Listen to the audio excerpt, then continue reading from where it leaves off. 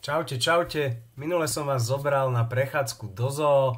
Dnes to bude prechádzka po slovenskej prírode a vidieku. Pôjdeme na Oravu a do Čičmian. V spierke Nitrianskej galérie sa samozrejme nachádza množstvo diel, ktoré zobrazujú slovenskú krajinu alebo prírodu a slovenský vidiek. Ja som však vybral tri diela od týchto troch pánov, Martina Benku, Miloša Alexandra Bazovského a Erika Bindera. To, čo diela týchto pánov spája alebo rozdeluje, sa dozvieme možno neskôr. Na ovoci môžeme e, to, ten výber zadefinovať tak, že ich priezviská sa začínajú na B. Prvé dielo je od Martina Benku, volá sa Na poli Orava, je zo 40. rokov 20. storočia a je to pomerne malý formát, malba na kartóne, olej na kartóne. Martin Benka je ikonickou perzónou slovenskej výtvarnej moderny, ktorý vo svojich obrazoch, vo svojich dielach zobrazoval mýtizovanú, zidealizovanú, romantickú slovenskú krajinu s rázovitou prírodou, a zobrazoval takisto ťažký život a prácu heroického slovenského ľudu. No a to všetko môžeme vidieť aj na tomto obraze. Krásne oravské kopce, ktoré mm, sa strácajú v hmle.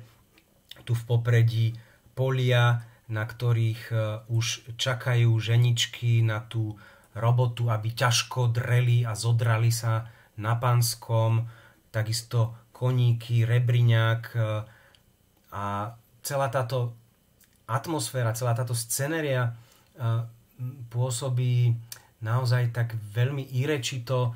E, farebnosť týchto kopcov a prírody je veľmi zemitá, aj celá tá obloha a tá hmla na mňa pôsobia, ako keby to bola krajina po daždi a keď sa nadýchnem, normálne až cítim ten, ten čerstvý oravský vzduch, mám chuť vybehnúť sem na toto pole, e, schytiť do ruky e, e, čo, čím sa to? Mačeta, krompáč, sekera, motika, motiku a pracovať na tom pánskom podjarmom porobi, pod ktorým trpí slovenský ľud už stáročia a možno navždy trpieť bude. Ďalšie dielo je od Miloša Alexandra Bazovského, má názov Zákruta, je z roku 1945, je to olej na sololite, opäť pomerne malý formát. Miloš Alexander Bazovský je tiež jeden z významných autorov slovenskej moderny. Toto dielo porovnaní s Benkom nezachytáva až tak e, slovenskú krajinu a prírodu ako slovenský vidiek, slovenskú dedinu. Je to teda dedinská scenéria, konkrétne obec Leštiny, nedaleko Dolného Kubína, takže opäť Orava. E, e, v tejto obci strávil Bazovský určitý čas, zotavoval sa tam po vyliečení sa z ťažkej choroby Uh, celý tento výjav pôsobí tak liricky, baladicky, uh, tak pokojne až meditatívne. Aj tá farebnosť je taká opäť zemitá, tlmená a v podstate sa tu prejavujú také tie vnútorné uh, pocity a pnutia autora.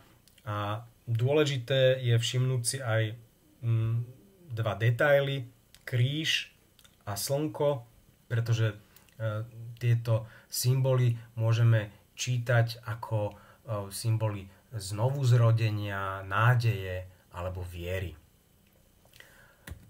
No a tretím dielom e, je e, dielo od Erika Bindera, súčasného autora, volá sa Voodoo Čičmany, je z roku 2015, je to sprej na platne, už pomerne väčší formát 150x150 cm No a tá technika spreja na platne je zaujímavá tým, že v podstate pochádza z prostredia graffiti alebo street artu a Erik je inšpirovaný vlastne street artom graffiti, ale aj inými prejavmi tzv. nízkej kultúry ako e, komiksy alebo popkultúra a rôzne takéto žánre. No a aj tu vidíme cel, celkovo, že tá malba je tak zámerne naivná, detinská, lajdácky spravená, že ide o tú rýchlosť, o tú expresiu, o tie šmahy a ťahy, nie štecom, ale v tomto prípade sprejom.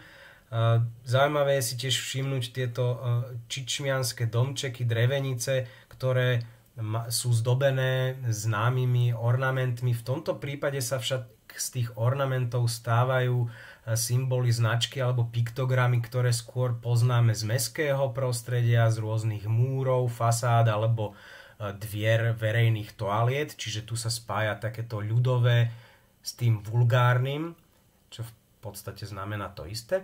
No, ale celkovo ten obraz má takú zvláštnu tajomnú atmosféru, tieto dve postavičky by sme mohli vnímať ako turistov, ktorí prišli do tejto zastrčenej, irečitej, trošku exotickej e, viesky na Slovensku a stretávajú sa tu s e, tajomnými obyvateľmi, ktorí praktizujú svoje folklórne vúdu. Ešte zaujímavé je všimnúť si kopce v pozadí, ktoré sú spravené pomocou šablón, čiže opäť technika známa zo street artu alebo z graffiti. A keď dáme uh, dielo Erika Bindera na pravej strane do juxtapozície s dielom Martina Benku, tak vidíme, že tieto kopce, síce v Benkovom prípade je to Orava, v Binderovom Čičmani sú si veľmi podobné aj farebnosťou, aj tvarom, aj celkovo takým tým rázovitým charakterom slovenskej krajiny a prírody, tou hmlou a proste tým pocitom, čo z toho ide. Takže dalo by sa povedať, že veľmi podobne tú krajinu títo autory vystihli. No a ešte, ak by som mohol porovnať tieto tri diela, tak každý ten autor zachytáva tú krajinu iným spôsobom, ale majú všetci niečo spoločné a to, že vlastne je to Slovensko. Pričom Benka pracuje s tým mýtizovaným obrazom Slovenska a slovenskej krajiny. Bazovský zase používa krajinu alebo vidiek ako nejaký spôsob, ako môže odzrkadliť svoje vnútorné pocity. No a Binder dalo by sa povedať, že u neho e, vidíme takú syntézu týchto dvoch, e, toho etnografického mysticizmu v spojení s tajomnou vnútornou atmosférou a porivmi duše slovenského ľudu. No a na záver vás ako vždy odkážem na našu virtuálnu galériu, kde sa o týchto dielach môžete dočítať niečo viac, takže klik, kliknite na našu stránku Nitrianská galeria SK a tu si môžete nájsť tieto tri diela. No a na budúce by som rád tieto moje vlastivedné prechádzky uzavrel prechádzkou po meste, konkrétne to bude vyľudnená Nitra. Tak sa majte zatiaľ krásne.